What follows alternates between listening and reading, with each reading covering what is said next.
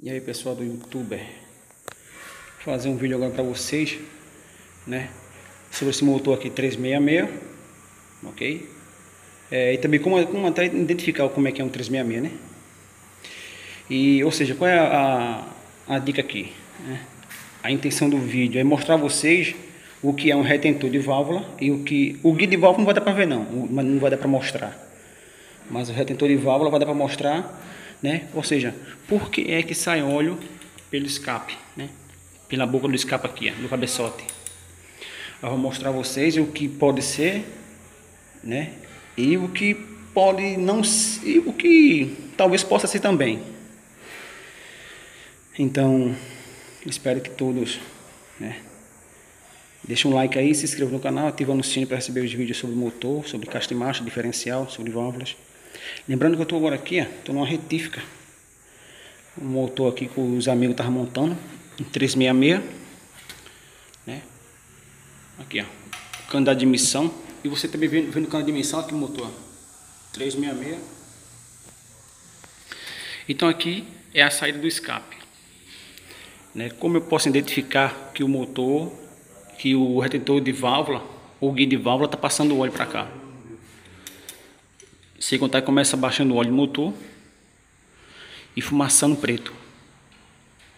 Principalmente quando começa a esquentar, porque o óleo esquenta e o óleo fica mais fino e acaba descendo mais fácil ainda pela, pelo guia de válvula ou pelo, pelo retentor das válvulas, né?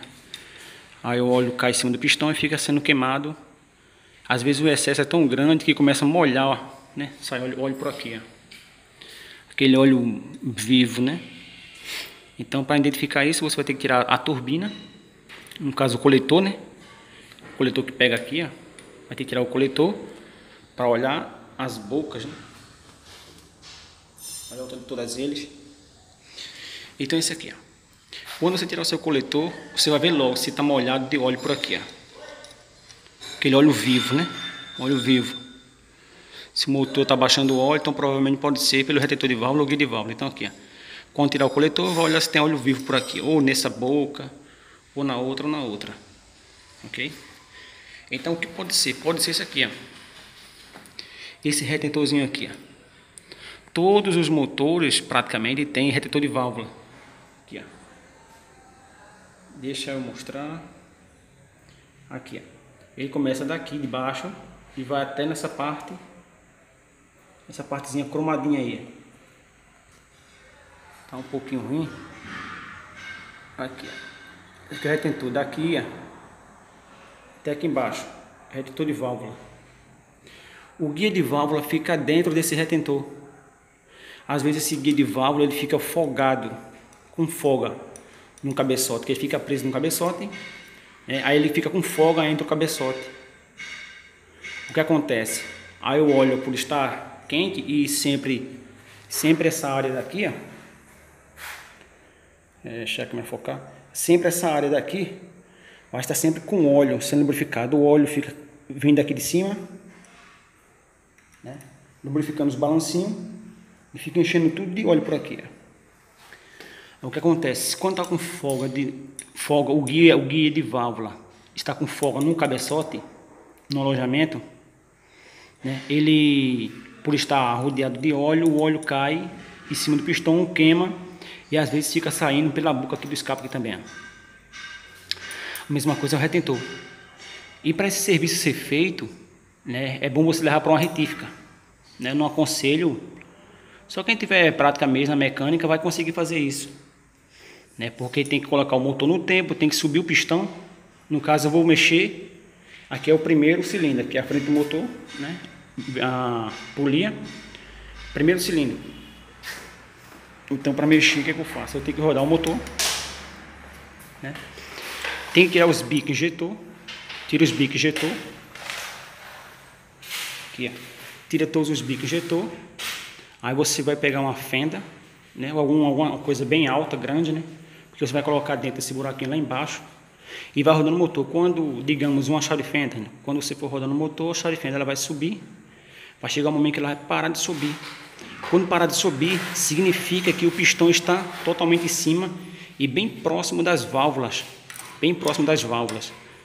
O que acontece? Você vai remover os balancinhos, todos eles, com cuidado, e vai arrumar uma chave para poder desmontar essas válvulas aqui.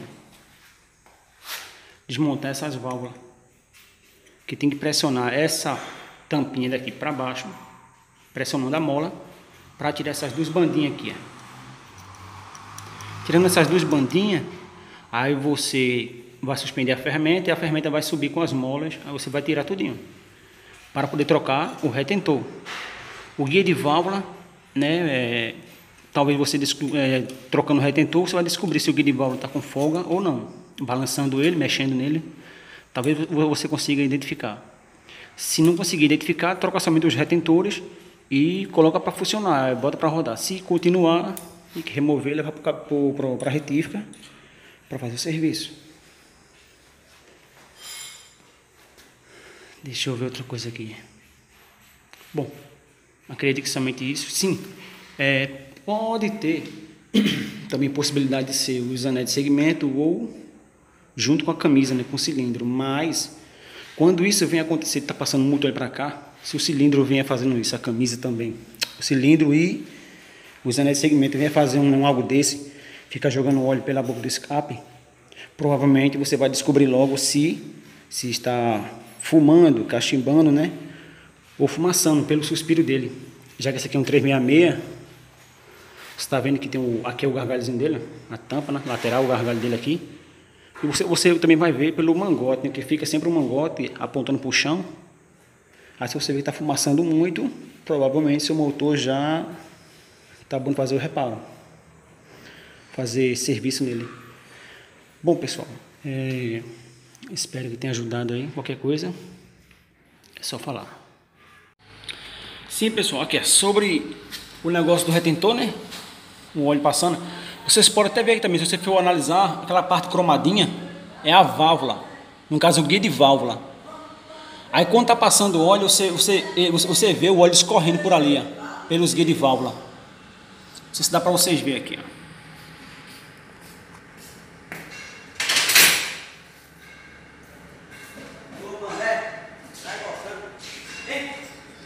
Deixa eu mostrar no outro aqui.